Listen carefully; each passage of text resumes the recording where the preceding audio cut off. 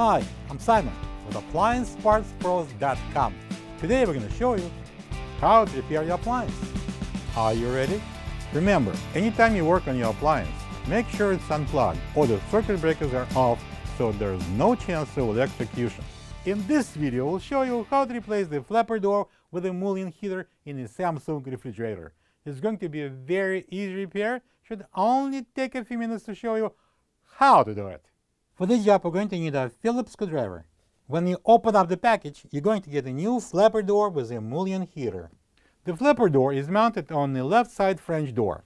It latches the door into the door holder, keeping it closed. It has a built-in mullion heater and three hinges that allow the flapper door to turn 90 degrees when it gets in and out of the door holder. The main reason for the flapper door to be replaced is if the hinges break, causing the French door not to close properly, or the heater burns out, causing condensation to build up on the flapper door. To get to the part, we need to open the left side French door. Next, I'm going to open the flapper door and I'm going to expose these uh, two Phillips screws. I'm going to use this Phillips screwdriver. I'm going to take out these uh, screws and uh, press the whole thing up. Don't get too excited. I'm going to pull out the harness and uh, need to disconnect this plug. I'm going to press down here on the tab and uh, pull the plug apart. This is the old flapper door with the mullion heater next to the new one. If you don't have this part, you can get it from appliancepartspros.com. Let's install the uh, new flapper door onto the uh, door. All right, now I'm going to plug this uh, plug. Make sure it locks.